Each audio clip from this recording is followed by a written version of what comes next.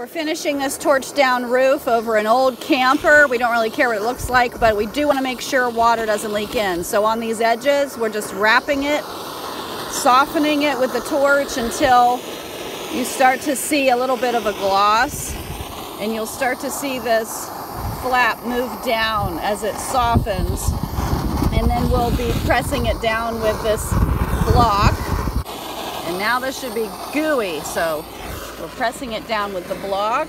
You can see it goop over here. Press it down firmly. Make sure you don't get it on your hands. You can see how it's coming out down here.